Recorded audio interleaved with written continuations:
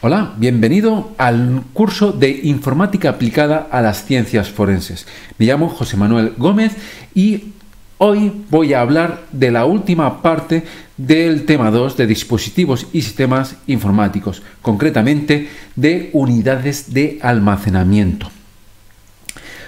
También tenemos en un sistema informático, pues tenemos las unidades de almacenamiento eh, permanente, que son los que graban los datos de, la computadora de forma, eh, pues como he dicho, mm, permanente o temporal, mm, pero que no se pierde la información cuando desconectamos eh, la alimentación.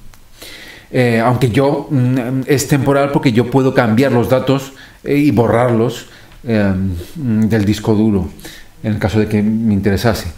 Eh, estos dispositivos son dispositivos magnéticos, por ejemplo el disco duro normal es un dispositivo magnético, tenemos eh, dispositivos ópticos como las unidades de CDs, hay unas unidades que llaman que combinan ambos pero ya están totalmente en desuso y después tenemos unidades de estado sólido que son las nuevas unidades SSD que son mucho más rápidas.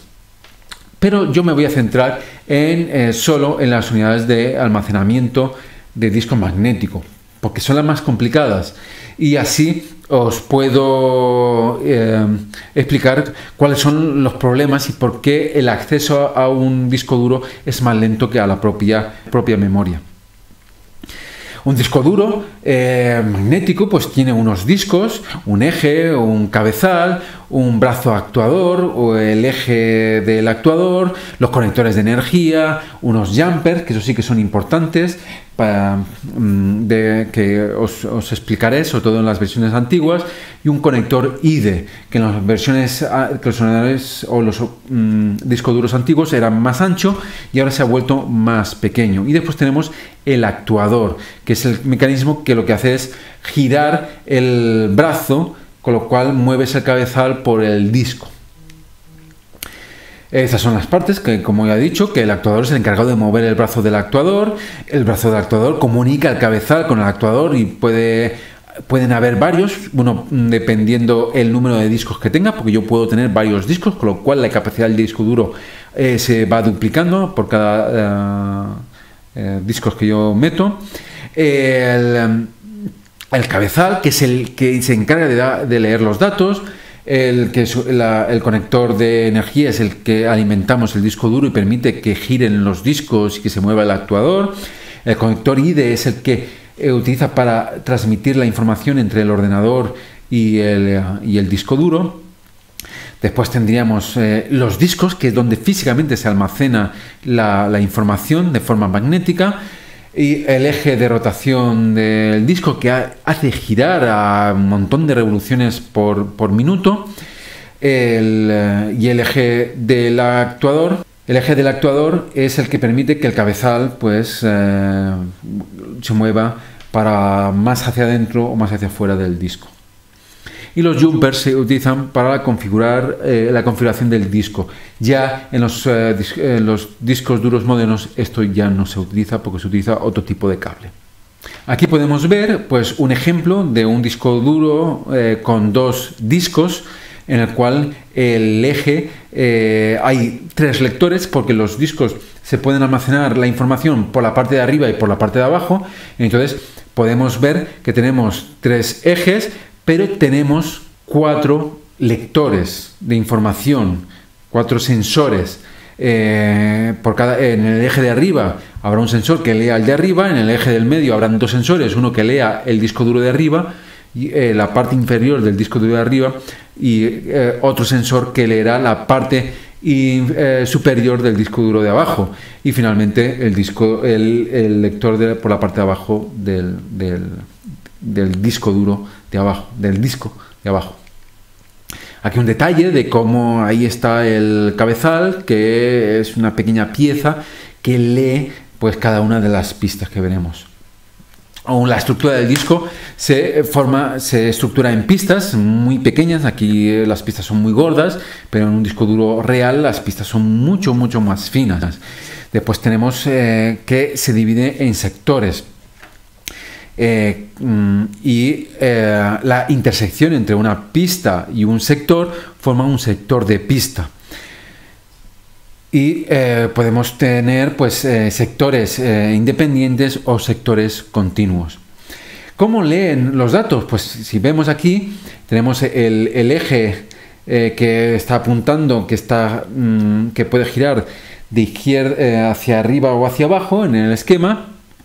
Si gira hacia abajo, pues lo que hará es que moverá el cabezal hacia abajo, llegando hasta las pistas más interiores, y si lo gira hacia arriba, pues lo que hará es eh, irse a las pistas de la derecha, igual que hace uno de los, un tocadisco en, em, en los discos duros, en los tocadiscos antiguos. Cuando yo intento leer eh, datos de un disco duro, lo que va a hacer es leer primero por cada una de las pistas de forma secuencial por los sectores consecutivos. Por lo tanto, primero lee lo amarillo, eh, después lee lo azul, después lee lo verde.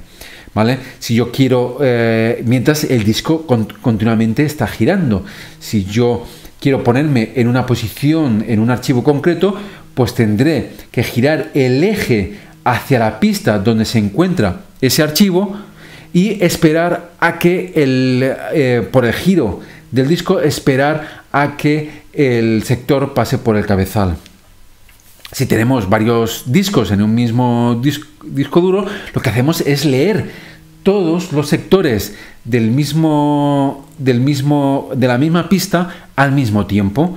Y así aprovechamos eh, y leemos tres sectores en el mismo tiempo y el disco va pues tres veces más rápido. Y eso tiene mucho que ver esta información que se almacena en el disco duro como sectores tiene mucho que ver como eh, eh, en el proceso de defragmentación de un disco duro. Por ejemplo, si yo em, inserto un archivo de tres bloques, pues eh, después inserto un archivo de dos bloques y después inserto un archivo de cuatro bloques, pues lo que pasará es que aparecerá esto en el disco duro, se avanzará todo por orden en sectores consecutivos. Pero imagínate que después borro un fichero o un archivo de dos bloques, el, eh, borro el archivo de dos bloques, pues me quedará un hueco.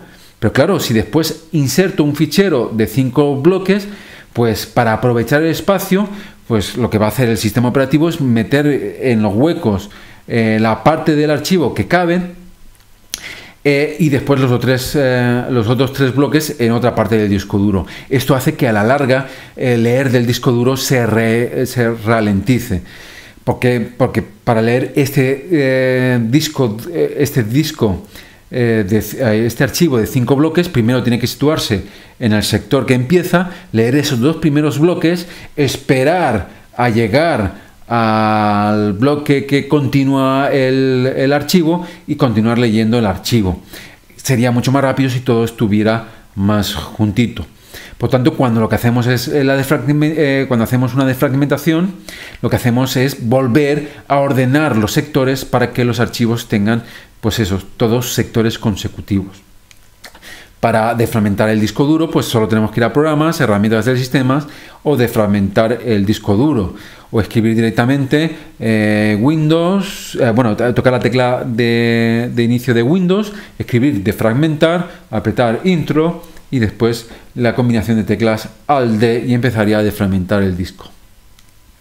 También podemos conocer el espacio en el disco duro, eh, pues con el explorador de archivos, eh, yendo al disco local C o al DEC que quieras saber, eh, pulsas el botón derecho y propiedades o directamente con la tecla Win X, pues y, apretando la, el O acentuado, pues nos llevaría a propiedades del disco duro en el cual podemos ver la capacidad que tiene y lo que nos queda de espacio, etc. Y esto ha sido todo del tema 2, dispositivos y sistemas informáticos, que ha estado dividido en cinco partes. Espero que hayas disfrutado, hayas aprendido mucho, porque van a servir como base eh, teórica de los siguientes temas que vamos a ver durante el curso.